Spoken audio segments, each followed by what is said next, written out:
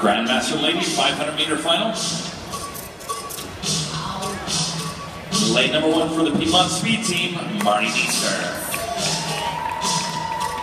And lane number two for Patterson's Inline Racing, PJ Muslow. Skating for Ohana Racing, Carol Ollinger.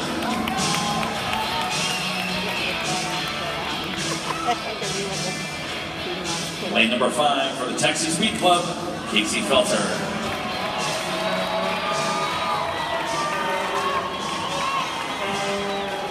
Skating lane number six, Texas Speed Club, Wendy Salome. And rounding out your field, skating for Star City Speed, Roberta Mayer.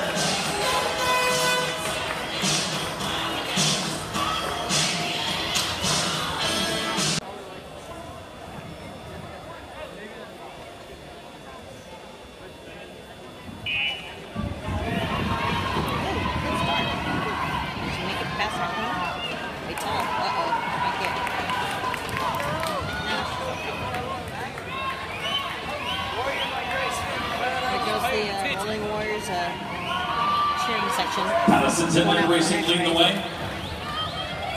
Ohana Racing second. Piedmont, three laps to go.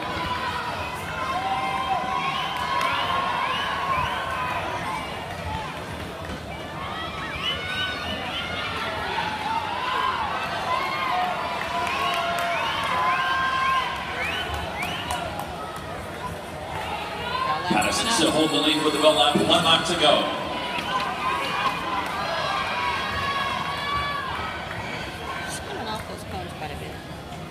And at the line is going to be Patterson's Inline Racing. Ohana